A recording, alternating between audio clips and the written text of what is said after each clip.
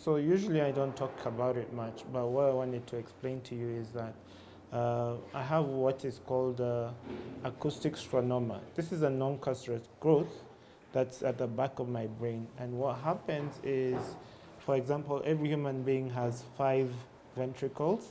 If you show the, if you show your hand, your, the five ventricles come streaming from the back of every human being. And my acoustic schwannoma presses against my third ventricle, which controls the nerves on the right side of my face. So this is what caused the right side of, the, of my face to get paralyzed. So it's not what people always assume is Bell's pal pal palsy. It's not really Bell's palsy, which is a different form of par uh, temporary par paralyzation. It is an acoustic schwannoma.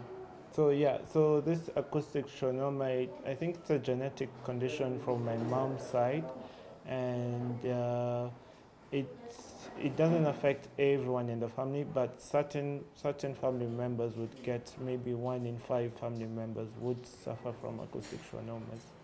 Some of the misconceptions people have about me is that I'm an 18-year-old boy living in my father's house.